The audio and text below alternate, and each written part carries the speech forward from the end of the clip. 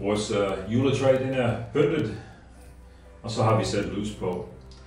Vi vil også gerne styre vores belysning, julebelysning med en, uh, en smart kontakt. Det gør det muligt at øh, uh, tænde slut for sin smarttelefon, og så kan man også lave tidsplaner til tændning og, og slukning.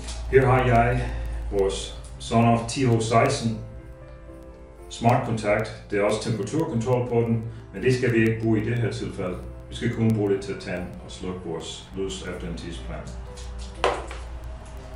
Jeg sætter først uh, stik til min julebelysning anden.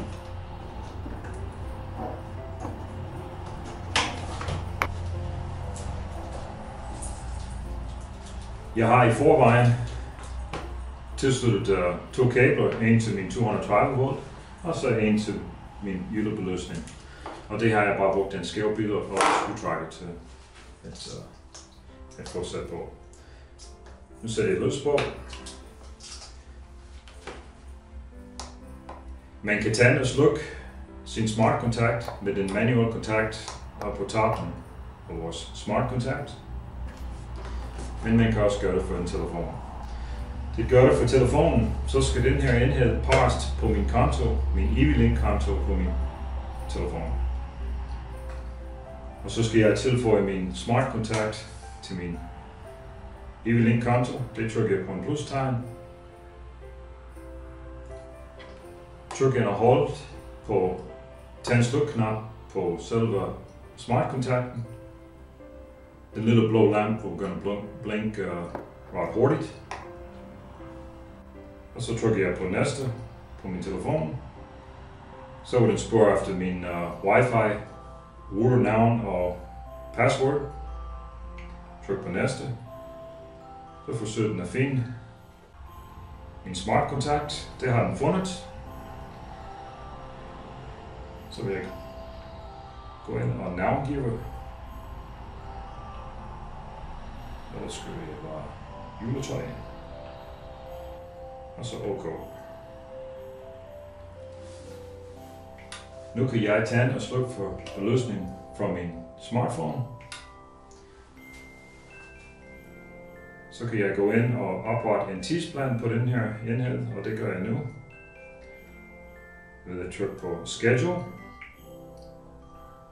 Plus. Jeg vil gerne, at den gentager, og den skal gentage mandag, tirsdag, onsdag, torsdag, fredag. Fordi vi her på arbejdsplads, så skal det kun fungere i nogle bestemte tidspunkt i løbet af ugen. Og så opretter jeg en starttid, og så siger jeg, at den skal tilkoble og gennem. Og så jeg skal også have det til at slukke på et bestemt tidspunkt. Det gør jeg igen og opretter en, endnu en schedule eller tidsplan. Den skal gentage mandag, tirsdag, onsdag, torsdag, fredag. Og den skal frakoble klokken 17.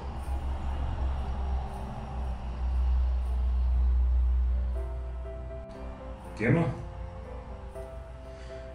Nu er min tidsplan sat op, og det vil sige, at klokken 7 om morgenen, det vil sige, at den vil starte næste dag, så tager min lys, og klokken 17 vil den slukke igen. Men indtil da, så tænder jeg for julebelysning, fordi der det er snart klokken 8. Udover at kan bruge den her smart kontakt indendørs, så har man også mulighed for at bruge den udendørs. Der skal man bruge en plastkasse, som er vandtæt, for kablerne igennem. Og så kan man styre sin udendørs belysning uden problem. Uden et uh, smart kontakt for for meget fugt eller blive våd. Så det var det. Vi har en løsning til jeres julebelysning. God fornøjelse.